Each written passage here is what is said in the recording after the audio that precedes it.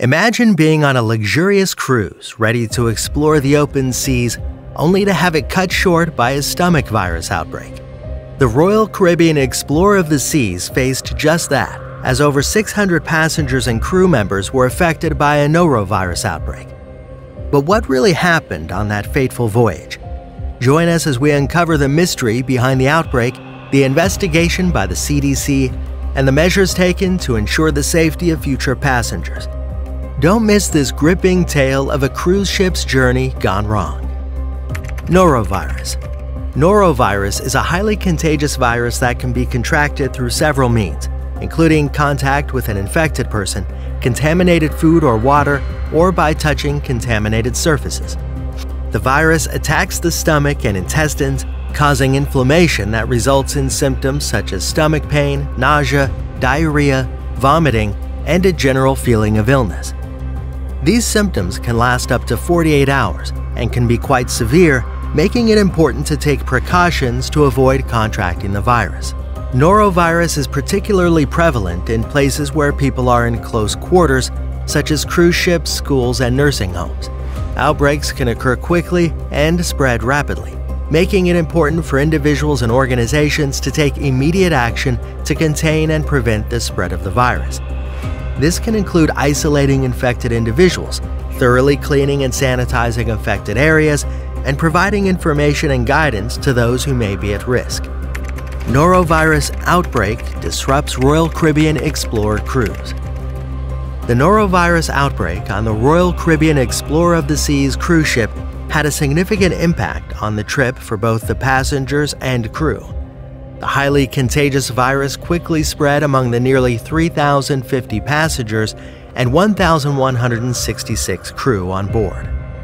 As a result, over 600 individuals, 564 passengers, and 47 crew reported symptoms, including stomach pain, nausea, diarrhea, and vomiting. Officials of the Center for Disease Control and Prevention were notified of the situation and began investigating while the ship was sailing on its 10 day cruise to the U.S. Virgin Islands. Due to the outbreak, the ship was forced to return to New Jersey two days early, causing disappointment among passengers. The company offered refunds and compensation. Royal Caribbean Response In response to the outbreak, the Royal Caribbean Cruise Line and the crew aboard the ship took a number of actions such as increasing cleaning and disinfection procedures in line with their outbreak prevention and response plan, making announcements to notify passengers and encourage case reporting, collecting stool samples from ill passengers and crew for testing by the CDC, and making daily reports of gastrointestinal illness cases to the VSP. They also prepared additional crew members to join the ship mid voyage to assist with case management and intensified sanitation procedures. The cruise line also consulted with the CDC on plans for passenger notification procedures, a delayed embarkation schedule in Bayonne, New Jersey on January 31, 2014, disembarkation plans for active cases, and terminal and transport infection control procedures. CDC team investigates.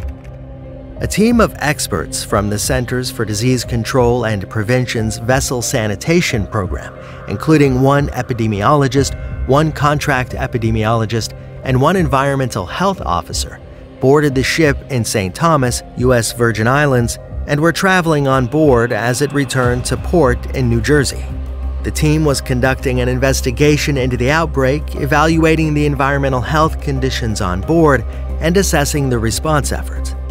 An additional environmental health officer joined the team upon the ship's arrival on January 29, 2014, to assist in evaluating the disinfection process. The investigation will continue throughout the boarding of new passengers for the next voyage. Five clinical samples were sent to the CDC laboratory for testing on January 26, 2014. Cleaning and sanitation process. Upon its return to port, the ship underwent a thorough cleaning and sanitation process to ensure that it was safe for future voyages. This included cleaning and disinfection of all common areas, cabins, and public spaces. All crew members were also required to undergo a health screening and any necessary medical treatments. During that time, the ship was closed to passengers and only essential personnel were allowed on board.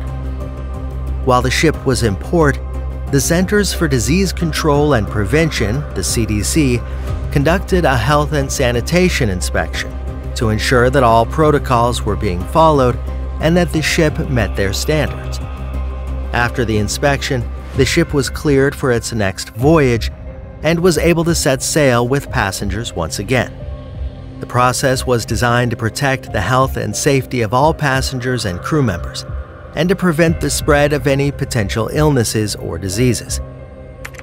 Reminder of the importance of prevention. The incident of norovirus outbreak on a cruise ship serves as a stark reminder of the importance of taking necessary precautions to prevent the spread of contagious illnesses. This is particularly true in places where people are close to each other. In these environments, it's essential that all individuals take steps to protect themselves and others from infection, such as washing their hands frequently and avoiding close contact with sick individuals. Furthermore, the incident also highlights the crucial role that cruise lines play in monitoring the health of their passengers and crew, and in taking prompt action to contain and prevent the spread of viruses. This is not only beneficial for passengers, but also for the cruise line, as a quick and effective response can help to minimize negative impact on the company's reputation. It's also important to have emergency plans that have been already put in place to take action if a contagious illness outbreak happens with clear protocols for isolating, reporting, and communicating with public health officials and passengers. In short, the incident serves as a reminder of the importance of being proactive in preventing the spread of contagious illnesses and the importance of effective emergency response plans. It shows the crucial role that individuals, organizations, and public health officials play in preventing and containing the spread of a contagious illness. There you have it. If you enjoyed today's video, make sure to like, subscribe, and click the notification bell so you don't miss any of our new videos. See you in the next video. Until then, take care and thanks for watching.